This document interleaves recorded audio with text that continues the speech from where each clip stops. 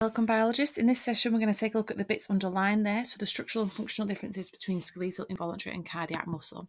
So here are the three different types of muscle. You need to know similarities and differences between all three, but also how to identify them from a microscope image.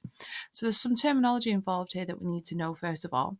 Multinucleate means I've got several nuclei within the cell. New, uninucleate means I've got one cell.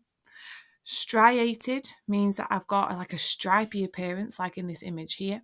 And non-striated means that it's got it doesn't have that stripy appearance. We have three different types of cells here. So we've got a branch cell, which as it implies, the cell branches off. We've got cylindrical in shape, and we've also got spindle in shape, which you'll see in the images in a minute. We also need to know their function and the contraction length. So is it going to be slow, is it intermediate, or is it a fast contraction? So first of all, let's look at voluntary or skeletal muscle. So this is um, responsible for movement of, of, conscious control. So for example, the movement of your arm or whatever. And what it has here is, as you can see in this particular image, this one is striated. All right, it's multinucleate, so it has several nuclei within a cell and it's striated because of the bands of actin and myosin. The cells are cylindrical, so they're kind of like a cylindrical shape. And as I mentioned before, it is involved with moving the skeleton or the bones or joints or limbs. And this one has a very short contraction length, it's very rapid.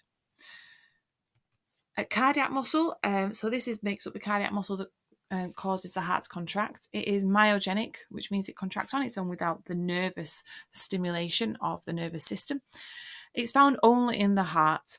Uh, this is striated, but it's not as strong a stripy appearance as we just saw there within the skeletal muscle. This one contains branch cells, so as you can see here in this image, the cells kind of like link up, if you like. They are separate, but they are classed as branched cells. And they have interlocking junctions, which is what you can see here on this image. Now they are uninucleate, so although they kind of have, if you like, these bridges these interlocking junctions between them, they are separate cells. All right, so each cell has one nuclei, which is why it's called a uninucleate. This one has an intermediate contraction length and speed. And the last one we need to be aware of is smooth muscle. Now, this is involuntary control. Um, so, for example, the smooth muscle that lines the trachea in your airways, you don't need to think about how this is contracting or why it might contract. Smooth muscle, this is involuntary.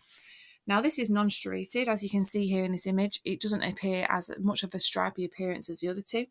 It is uninucleate, uh, so it has one nuclei within each cell. And as you can see here, they have a more of a spindle-shaped cell for this one. Now these ones are involved, for example, with peristalsis, controlling the diameter of the bronchi and the trachea, and also the pupil size arteries and arterioles. And there is no regular arrangement for these ones. So what I advise that you do is pause the video, try and draw out this um, Venn diagram and fill in the blanks. So this will help you to determine the similarities and differences between all three of these, which you do really need to be aware of. So pause it, have a go, and then the answers are coming up now. So I'm not going to read through it all because you, you you can see that in front of you. Uh, but that is what we should be getting um, to know the differences and the similarities between all three of those types of muscle cells.